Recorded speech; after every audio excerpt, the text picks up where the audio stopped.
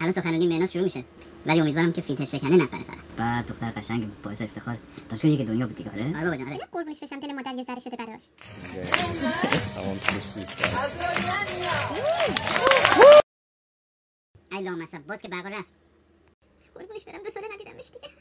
چشم فوق تحصیلش می‌خوام ببینم من چی بگم به این مگه میشه من مگه میشه اینجوری چند بار بعد این اتفاق بیفته؟ ای ای